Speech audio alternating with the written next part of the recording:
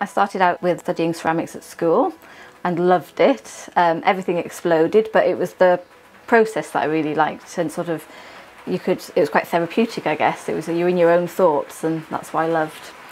But anyway when I left school I studied fashion for a fair few years and it wasn't quite right for me and I went back to ceramics which I've just loved ever since. I was hooked, hooked on ceramics, and I've learned all the different processes of ceramics, all different firings. I was in a wood fired group. I worked for a potter and did soda firing.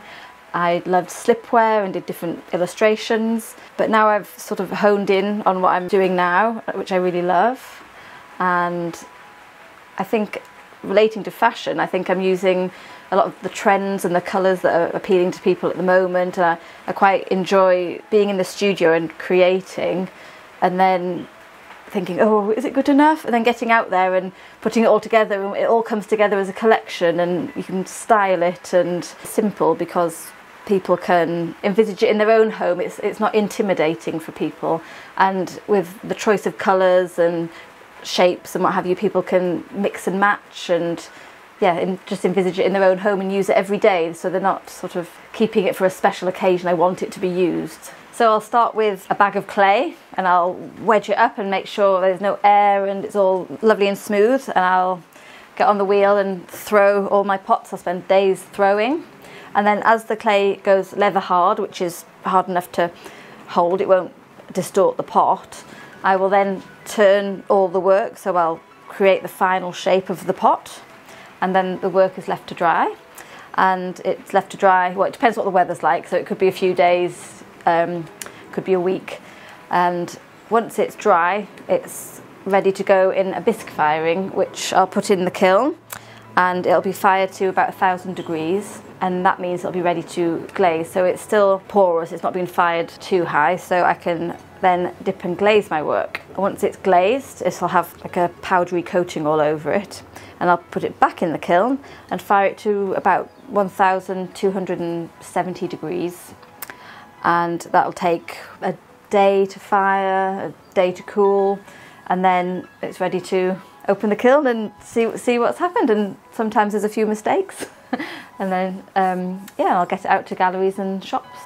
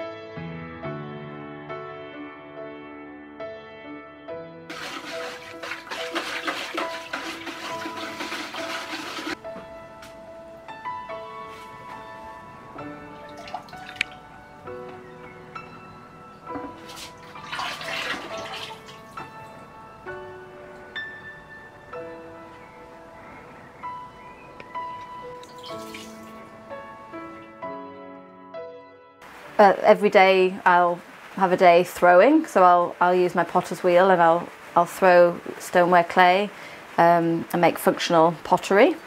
Um, and then the next day I might be making up a batch of glazes, which I'll, I'll make from scratch using raw materials. And I've um, developed my own glaze over the years, um, which is quite a matte, smooth glaze. I quite like the look of that. And I'll use different colour pigments to create the the tone and the range I guess that I want in my work. So yeah, it's just a very varied life of making, glazing, turning, show applications, going out and meeting people, meeting gallery owners. I work two shows and meeting customers, which is always really lovely after working on my own for so long in the studio to get out there is yeah, it's really it's really nice.